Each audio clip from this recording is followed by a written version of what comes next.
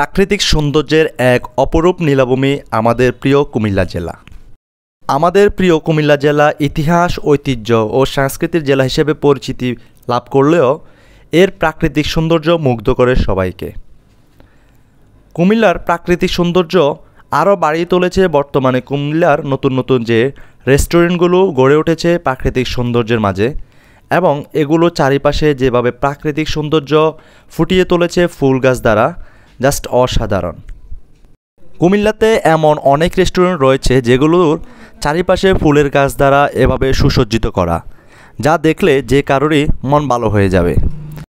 এখন আমরা এমন একটি রেস্টুরেন্টে আছি যেটি শহরের কোলাহল থেকে একটু দূরে, একেবারে নির্জন প্রাকৃতিক পরিবেশে ফুল গাছ দ্বারা ঘেরা একটি রেস্টুরেন্ট যার আশেপাশে নেই শহরের বড় বড় দালান এবং শহরের যানজট।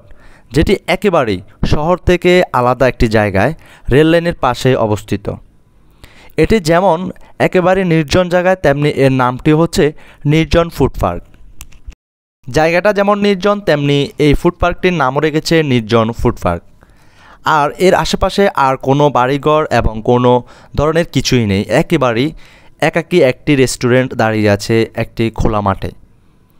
আর এর যে চারপাশে ফুল গাছ দ্বারা মনে হচ্ছে যেন বাগান বিলাস। জাস্ট অসাধারণভাবে সাজিয়ে তুলেছে ফুলে এবং বিভিন্ন সুসজ্জিত গাছে। আপনারা গেলে হয়তো মুগ্ধ হয়ে যাবেন এর সৌন্দর্য দেখে। যদিও এর রাতের সৌন্দর্য আরও একটু ভিন্ন থাকে, যেহেতু রাতে লাল নীল লাইটিং দ্বারা এর সৌন্দর্যকরণ করা হয়েছে, কিন্তু আমরা যেহেতু দিনের ভিডিওটি দেখিয়েছি আপনাদেরকে এরপরে আমরা দ্বিতীয়বার রাতের আরেকটি ভিডিও আপনাদেরকে আমরা দেখাবো। নির্জন এই ফুড পার্কটি কোথায় অবস্থিত? নির্জন এই ফুড পার্কটি কুমিল্লা সিটির মধ্যে কুমিল্লা পদুয়ার বাজার বিশ্ব রোড থেকে একটু পশ্চিমে গেলে যে ফ্লাইওভারটি রয়েছে, অর্থাৎ রেল লাইন দিয়ে হেঁটে একটু দক্ষিণে গেলে একেবারেই মাঠের পাশে, রেল লাইনের পাশে খোলা জায়গায় এই নির্জন ফুড পার্কটি অবস্থিত। এর আশেপাশে নেই কোনো বাড়িঘর, কোনো দালান এবং কোনো কোলাহল। একেবারে নিরিবিল পরিবেশেই এই নির্জন ফুড পার্কটি অবস্থিত। যেখানে আপনি আপনার প্রিয় মানুষ, বন্ধুবান্ধব আত্মীয় স্বজন এবং পরিবারদেরকে নিয়ে নিরিবিলিভাবে ঘুরে আসতে পারবেন এবং খেতে পারবেন বিভিন্ন ধরনের খাবার।